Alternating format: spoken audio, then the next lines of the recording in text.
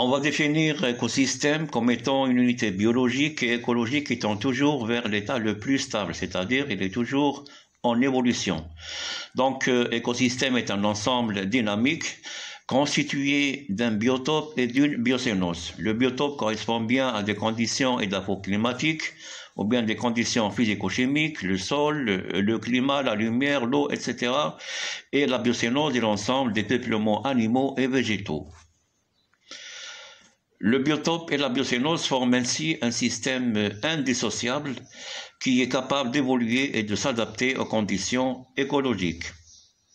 Toute modification rapide d'un ou plusieurs paramètres d'un écosystème conduit à une rupture dans l'équilibre écologique. Effectivement, quand on assiste par exemple à une action anthropique, c'est-à-dire l'intervention de l'homme sur la dégradation forestière, cela va engendrer une régression de cet écosystème, donc un déséquilibre, ce qui fait qu'il va avoir retour vers l'état le moins stable. Premièrement, on signale que le Maroc fait bien partie des pays circum-méditerranéens. Son climat est de type méditerranéen, qui est caractérisé par une sécheresse estivale, par une irrégularité des précipitations d'une année à l'autre et par un régime pluviométrique qui est de type HPAE. Sa situation géographique se trouve bien entre deux façades maritimes, la Méditerranée d'un côté et l'océan Atlantique de l'autre côté, ce qui fait qu'il reçoit des influences maritimes, méditerranéennes et océaniques. On rajoute à cela une euh, diversité d'une gamme euh, bioclimatique qui va du Sahara jusqu'à limite dont bénéficie le Maroc. Ce qui fait que tous les états bioclimatiques berger se trouvent bien au Maroc. On rajoute à cela également une diversité au niveau des reliefs qui sont beaucoup escarpés. Ainsi, on trouve par exemple des chaînes de montagnes, euh, le Rif, le, le Haut Atlas, le Moyen Atlas, l'Anti-Atlas.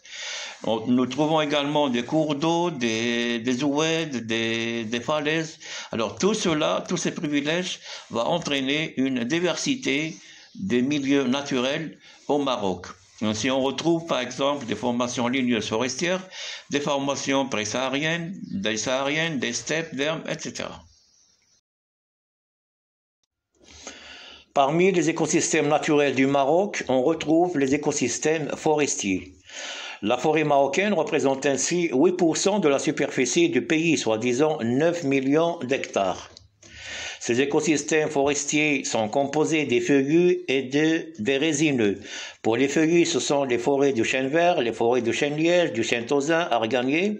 Et pour les résineux, il s'agit des forêts du pin, les, forêts de touya, du cèdre, et ainsi de suite.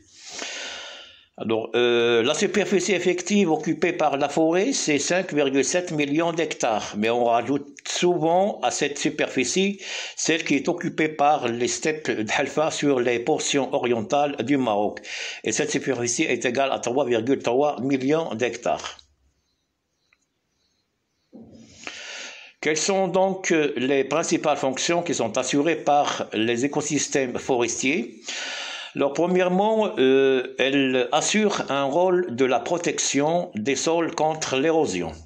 Deuxièmement, ces forêts assure la production du bois du chauffage et le bois d'œuvre. Elle assure ainsi 30% des besoins en bois d'œuvre et d'industrie et 30% des bilans énergétiques et 17% des bilans fourragers, c'est-à-dire les espèces fourragères.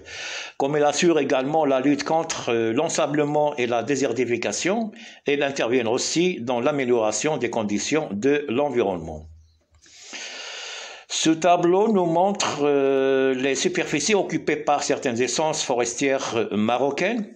Alors, quand on regarde par exemple celle qui est occupée par le chêne vert, Quercus euh, ilex, on trouve une superficie d'un million trois cent soixante mille. Donc, c'est la grande superficie forestière occupée au Maroc. Donc c'est celle du chêne vert. Pourquoi? Parce que on considère que le chêne vert possède une amplitude écologique très large, c'est-à-dire il s'installe sur toute nature de roche-mer et sur euh, une gamme bioclimatique qui va de l'étage euh, semi-aride, parfois même aride, jusqu'à l'humide. Donc c'est pour cette raison qu'il occupe toute cette euh, superficie.